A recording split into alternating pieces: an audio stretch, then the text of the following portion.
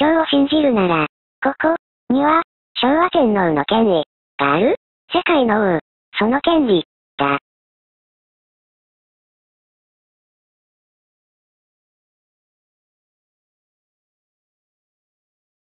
それがあることで、雅市場だ、ストリートの連携だ、利益税が存在し得る。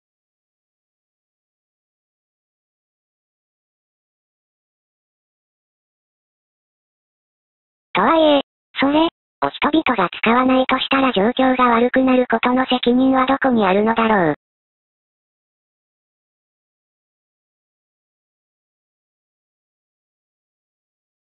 一部しか利益税が出ない。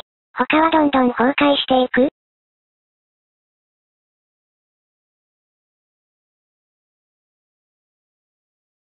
そういう状況に、非道だ、感情論的には言えるが、実際には、理不尽だ。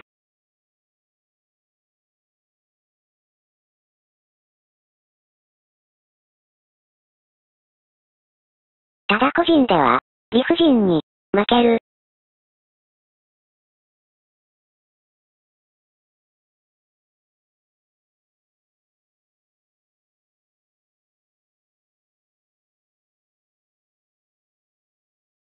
個人に対して自己責任は問えない、ということで。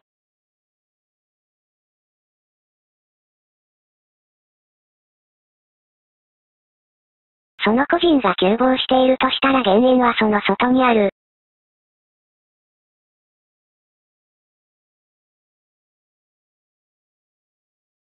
そういうのを残すことに対して、世界はもちろん、見逃さない。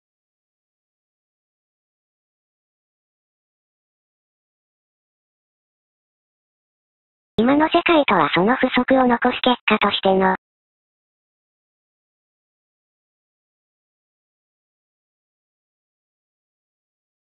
会社が倒産するのはやむを得ないが、労働者が路頭に迷うことは許されない、わけだ。